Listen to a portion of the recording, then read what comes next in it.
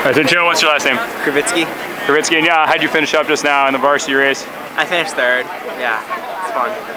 Uh, where have you finished so far this season? Four races in. Four races in. Uh, the first race I did DNF because my fork broke. Second race I did good. I got another third. Um, Wompatuck race. I didn't do too well because I had a sore throat. But this race I thought I did pretty well. It's a pretty solid race. Right, I saw, I saw you out there. I think I saw you were kind of like Yeah. elbows out. You were like digging in. Mhm. How do you motivate to go that hard? It looked like you were really hurting. Yeah, I kind of come from the road biking, so. So just uh, pedaling hard is no problem. Just Yeah. legs on fire. Yeah, it's just the technical stuff that kind of gets to me. Other than that, it's. Do you have any uh, crashes today? I saw a lot of those corners No. were blown out out there. That No. high speed stuff. Yeah, yeah. I just had to slow down really fast, but yeah, it was really fun. All right, what's your uh, what's your favorite thing about mountain biking coming from the road? Mountain biking.